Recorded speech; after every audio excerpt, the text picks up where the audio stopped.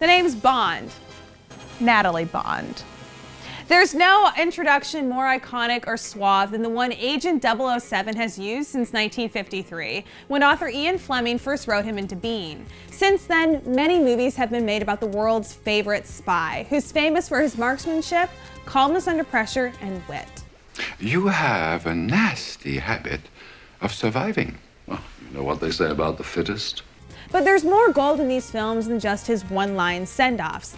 That's right, many of the Bond plot lines are centered around gold, and today we're going to try and put our gold finger on why that is. Auric Goldfinger is the eponymous villain from the 1964 film. To say that this man is obsessed with gold would be an understatement. Gold, Mr. Bond.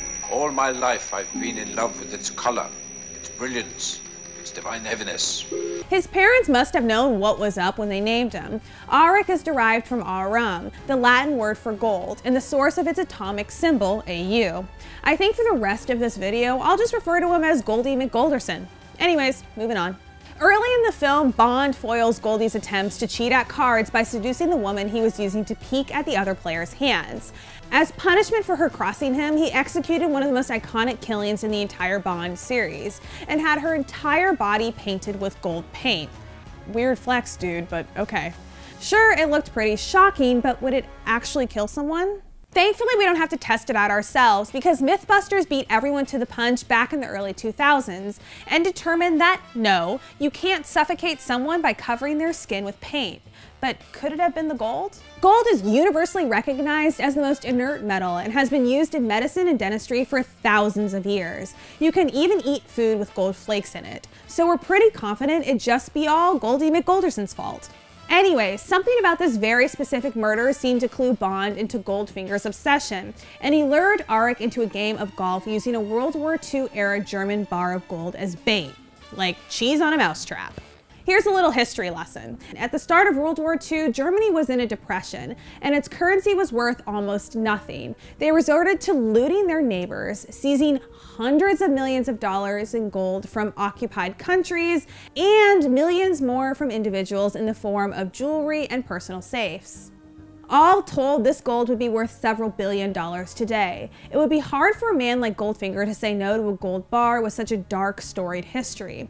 Besides, his plan in the movie depended on gold bars, and it was in his best interest to have as many as possible. His idea was to break into Fort Knox and detonate a small nuclear bomb inside, irradiating the entirety of the US gold stockpile and rendering it worthless for decades. Unbeknownst to Goldfinger is that the radioactive form of gold is highly unstable. His little stunt would have turned the gold into mercury within a few days, a result he probably would have been pleased with. This move would significantly boost the relative value of Goldfinger's gold like 10 times over. An interesting note is that, in the novel, Goldfinger's plan is to just steal the gold. But as we know, gold is very dense. A standard 400 troy ounce bar of gold weighs 27 pounds. This makes stealing the entire US gold supply pretty much impossible, as Bond points out in the film.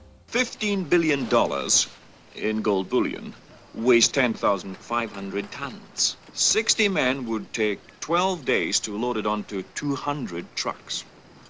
Now, at the most, you're going to have two hours before the Army, Navy, Air Force, Marines move in and make you put it back. It also means that Goldfinger's smuggling vehicle, his gorgeous Rolls Royce, would be heavily weighed down by its precious cargo.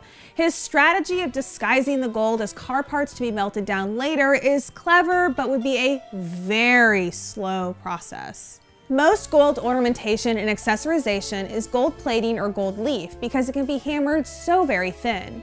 Speaking of gold plating, let's talk about another gold-loving Bond hater, the man with the golden gun. Otherwise known as Scaramanga, this international assassin is known for being strapped with a golden gun and using golden bullets marked with the name of his targets. But how well would this actually work? Well, the novel takes a much more realistic approach. The gun in the book is merely a gold-plated 45 revolver, whereas the gun in the movie is much cooler, although this coolness comes with a cost. It's a custom-made single-shot pistol assembled from four seemingly harmless golden items, a pen, a lighter, a cigarette case, and a cufflink, and I guess a single bullet, Barney Fife style. Individually, I see nothing wrong with the ability of any of these items to do their jobs just because they're made of gold. A gold pen would still write just fine, and the lighter wouldn't even get hot enough to melt itself. However, as we've said before, when it comes to combat and working parts, gold is not your friend.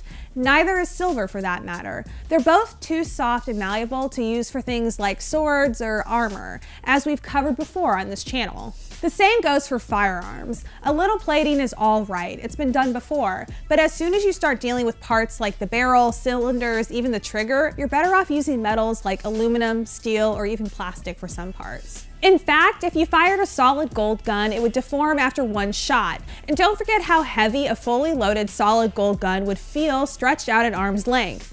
Bad time to only have one shot. So tell us which of your possessions would be the coolest if it were solid gold. And like I said earlier, I would not recommend choosing your car or your peacemaker. Personally, I think a solid gold toilet would be quite the conversation piece, a dapper crapper, if you will. Let us know down in the comments section and don't forget to like, subscribe, and of course, ring that bell. You don't want to miss out on any of our new videos. Thanks for watching.